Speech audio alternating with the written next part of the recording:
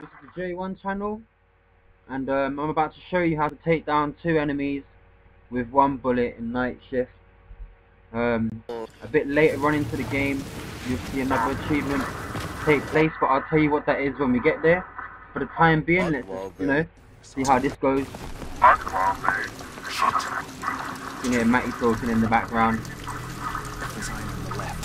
Soldiers are cranking down, getting ready, prepared. See that guy? Let's get the sniper back up.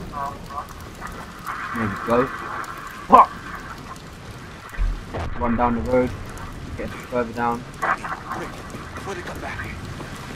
Again, we're just cranking at the moment, like waiting to see what happens now. Look, some soldiers are walking past there.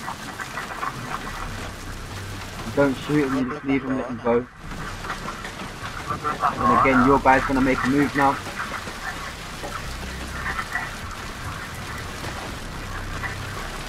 You climb up the ladder.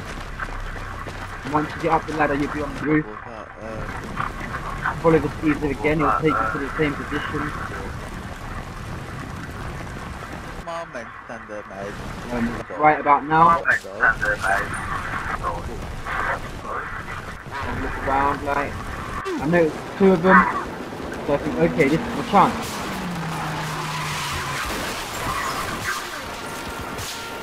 Right, this is the second achievement, once wanted dead or alive.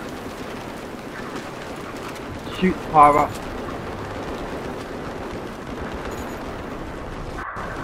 Run over there, find out if he's alive or dead in the car. For me it looks a bit like a ranger, you get me? Being secured.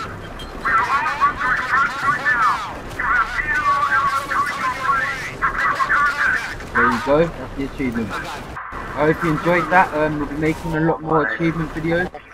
And um, yeah, keep an eye out for us.